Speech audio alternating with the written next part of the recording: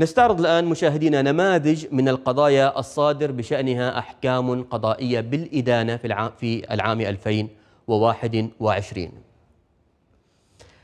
إقدام أحد الموظفين على طلب رشوة واستغلال منصبه لتحقيق منفعة شخصية له ولغيره.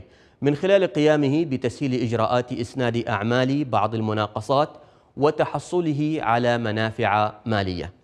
وقد صدر الحكم الحكم جاء كالآتي إدانة المتهم بالسجن ثلاث سنوات وتغريمه نحو 21 ألف ريال عماني والعزل من الوظيفة وحرمانه من تولي المناصب العامة.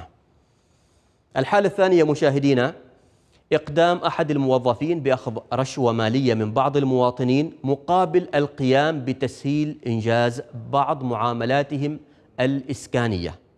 وقد صدر الحكم بالآتي إدانة المتهم بطلب الرشوة وإساءة استعمال الوظيفة وسجنه من أجل الأولى مدة سنتين وتغريمه للحق العام بألفي ريال عماني.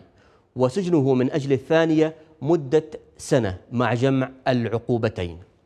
من القضايا أيضا أقدم عدد من الموظفين على استحداث جيب تخطيطي يتداخل مع قطع أراض مملوكة لبعض المواطنين وذلك بغرض التعويض والمنح لقطع أراض سكنية.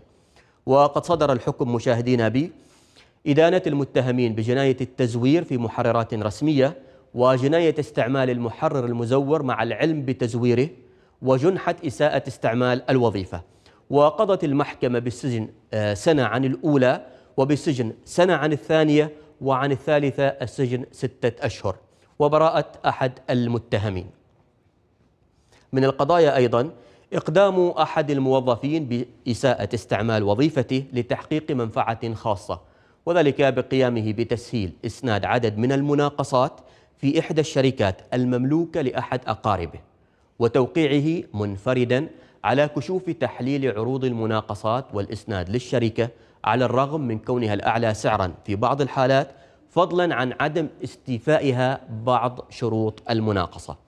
وقد صدر الحكم بالآتي إدانة المتهم بجنحتي استغلال المنصب لتحقيق منفعة لغيره وإساءة استعمال الوظيفة وقضت المحكمة بسجنه سنتين وعزله من الوظيفة العامة. هذه كانت بعض القضايا التي تعامل بشأنها جهاز الرقابة المالية والإدارية للدولة في عام 2021